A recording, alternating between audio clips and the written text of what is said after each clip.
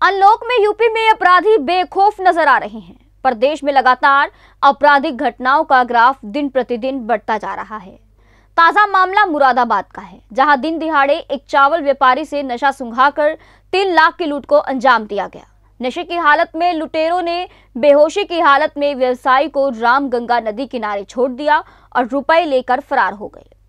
दरअसल व्यापारी अपनी दुकान बंद कर अपने साथ रुपए लेकर जामा मस्जिद चौराहे से ऑटो में टांडा जाने के लिए बैठा था। तभी ऑटो में सवार तीन लोगों ने नशा सुंघाकर लूट की घटना को अंजाम दे दिया। सूचना पर मौके पर पहुँची पुलिस बदमाशों की तलाश में जुट गई और तफ्तीश शुरू कर दी। आपको बता दें कि टांडा निवासी मोहम्मद शोएब की मुरादाबाद के कटरे बाज़ार में चावल की दुकान है। मोहम्मद शोएब अपनी दुकान बंद करके अपने घर जाने के लिए निकला। उसने मुगलपुरा क्षेत्र के जामा मस्जिद चौराहे से घर जाने के लिए ऑटो लिया।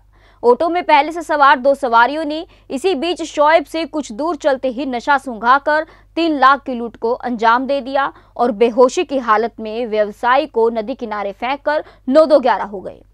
घंटों के बाद जब व्यवसायी को होश आया तो वो आवक रह गया। उसके पास मौजूद तीन लाख रुपए भी गायब थे। घटना की जानकारी पीड़ित ने अपने परिजनों को दी और पुलिस को भी घटना से अवगत करवाया। सूचना पर पहुँची पुलिस ने जाँच पड़ताल शुरू कर दी और क्षेत्र के सीसीटीवी फुटेज के आधार पर आगे की कार्यवाही की जा रही है। फ़िलहाल लॉकडाउन के बाद आपराधिक घटनाओं में लगातार बढ़ोतरी देखने को मिल रही है।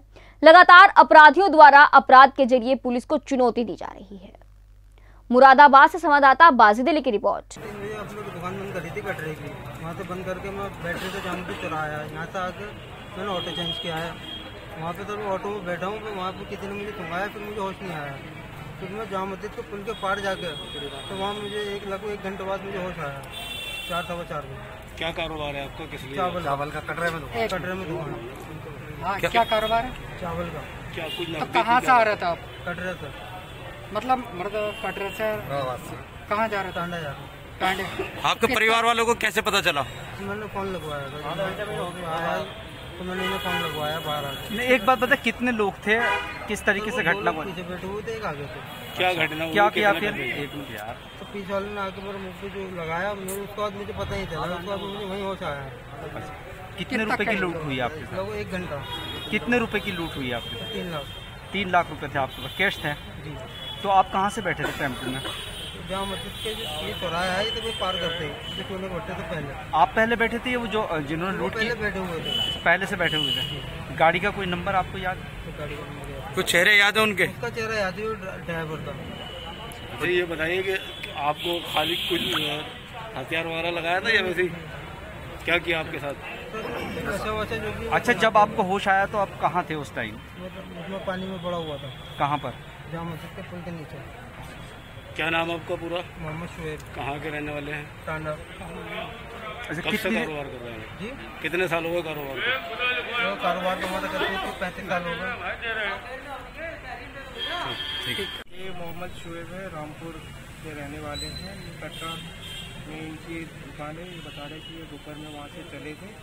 और एक इन्होंने ऑटो रिक्शा किया जिसमें इनके पास तीन लाख रुपए थे उस समय तो ऑटो रिक्शा में पहले से कुछ लोग वहाँ पर मौजूद थे जिन्होंने इनको कुछ सुधार दिया जिन्होंने और उसके बाद जो इनके पास जो रुपए थे वो लेकर वहाँ से चले गए। उन्हें जब होश आया तो उन्होंने पुलिस को संपर्क किया।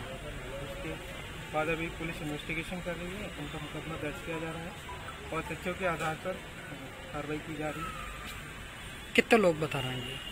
इन्होंने बताया कि ऑटो में एक ड्राइवर था साथ में दो व्यक्ति और थे। इसमें सीसीटीवी कैमरा देखे जा रहे हैं पूछताछ की जा रही है। इसमें जो भी तथ्य आएँगे उसके अनुसार विधिक कार्रवाई करेंगे। कैसे कि बता रहा पहले से ही पहले से ही खड़े हुए थे? हाँ ये जिस ऑटो में बैठे थे उसमें जो पहले से दो व्यक्ति बैठे हुए थे जिन्होंने बताया ड्राइवर के अलावा क्या बता रहे हैं बेहोश किया गया था क्या किया?